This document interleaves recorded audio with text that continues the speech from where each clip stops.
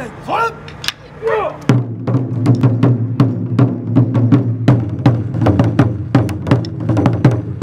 I was a kid, I saw those Japanese events in, in their uh, temples and shrines, but nowadays we don't see much. So we uh, want to show those uh, traditional Japanese stuff for Japanese employees. The event tomorrow is a Japanese cultural festival.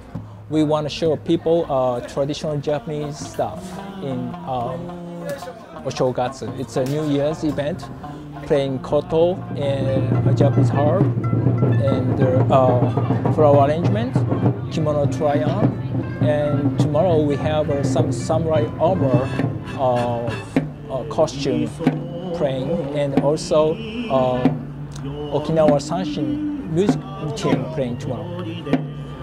Well, we started this back in 20, uh, 2013. Friendship Festival was canceled that year. So people want to have, okay, we want to have something, get together, celebrate. Usually we have this uh, second Friday of January.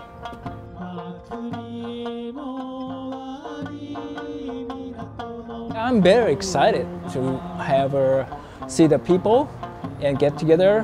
We can do something for best communities.